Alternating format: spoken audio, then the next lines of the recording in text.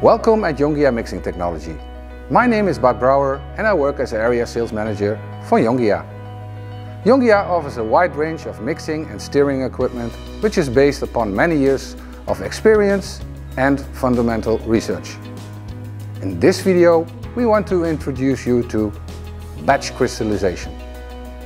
To explain the process of crystallization, first we need to explain how we have set up this lab scale test unit. We have prepared a 10 liter vessel with a heating and cooling coil to increase or lower the temperature. We also have connected the laptop to the lab scale mixer unit to show the temperature drop once we start the crystallization process. We have chosen the cup mixer for this lab scale unit. Of course, we could also choose for a hydroprop set of blades.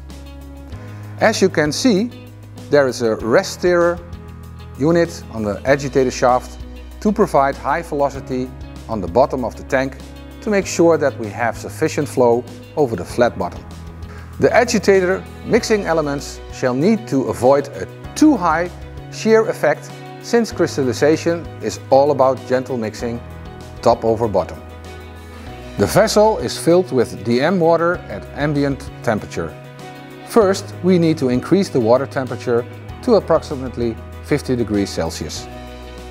This will be done by warm water from the tap, connected to the heating coil.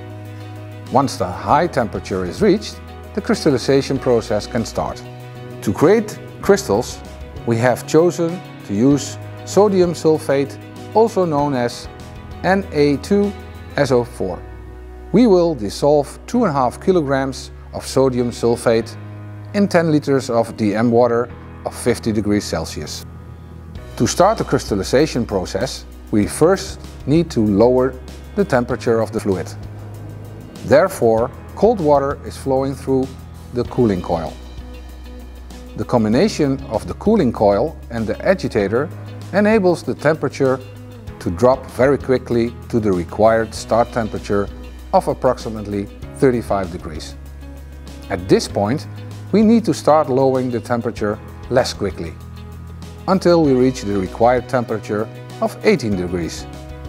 During the process, the crystals will bond with the DM water and become crystal water.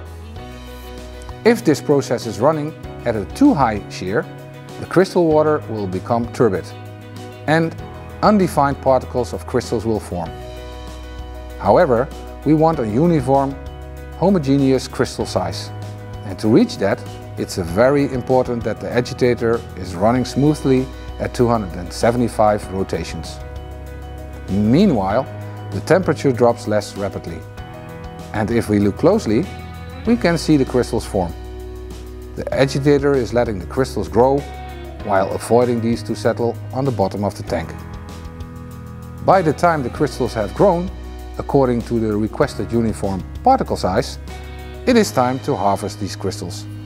Normally, this is reached by means of a filter. In this case, we will obtain the crystals with a screen.